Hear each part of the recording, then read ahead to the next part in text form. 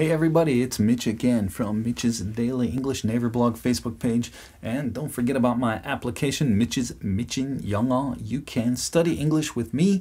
You can learn how to speak like a native English speaker. It's time to it's time to learn how to speak like a native English speaker so that you can have good relationships with foreigners, so that you can have good business uh, connections, good networking situations in your business when you go traveling, whatever the situation. It's time to speak like a native English speaker. So check it out, mitchinenglish.com. You can learn with me. All right, well, I have a good phrase for you today. It's the last resort. The last resort. What does that mean? The last resort, you know, like a like a nice uh, nice resort hotel on the beach. No, it's not talking about that kind of resort. The last resort. That means uh, the last thing you can do, the last choice you have, the last plan. All right. You know, we have say plan A and then we have plan B. We say always have a plan B. Plan B means backup plan. Okay, that's the last resort. But the last resort is not plan B. There's plan A, plan B, and then usually there's like plan C, D, E, F. The last resort, that means the last plan, Z, plan Z. After you you planned many things, after nothing worked, didn't work, this one didn't work, A didn't work, B, C didn't work, now we're down to D. That's the last resort. Okay, so that just means the last thing you can do the final chance. Okay, the final chance. So uh, this is it comes from resort means uh, we often use this phrase. We say I had to resort to doing something. Verb. Okay, uh, resort to. Uh, like so, for example, you didn't buy any groceries. You know, you you didn't go to the store.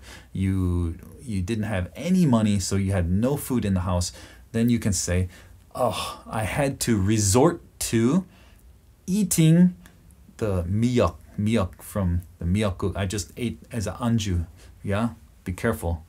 I know I know someone who ate uh, miyak for anju because he had no food in the house, so he ate miyak and he had to go to the emergency room because they were pulling miyak out of his out of his throat because it gets as you drink beer it gets uh, swollen in your stomach. So don't do that. Very very dangerous. But anyway just an example. You could say i had to resort to eating miyak for my anju because i had no food in the house. So resort to that just means when you have nothing else no other options then you have to resort to doing something okay?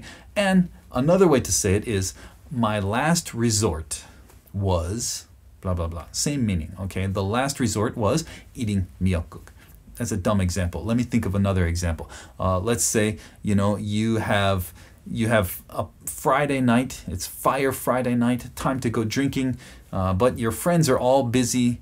All your girlfriends are busy. Your friends are busy. You you have a free night, but nobody can hang out with you. But you really want to go to the club. You want to go drink soju. What do you do? Well, you say, oh man, what about that one guy? You know, I had that one friend. I don't like him. He's kind of weird, kind of annoying.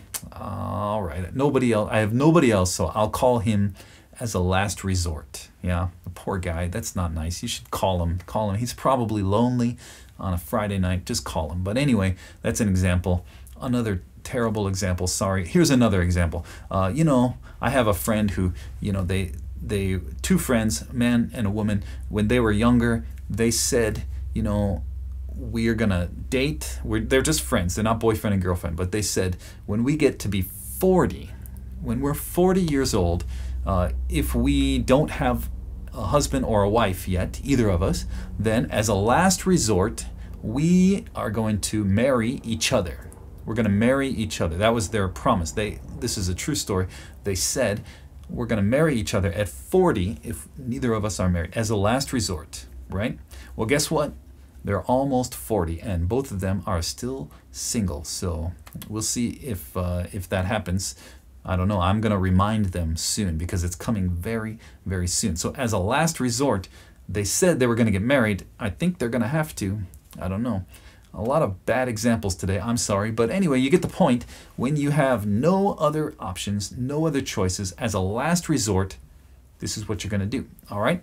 All right, go ahead and download my application. And as a last resort, you can study English with me. Yeah, I may be your last choice. Oh no, I hope not. But go ahead and get it, and I'll help you.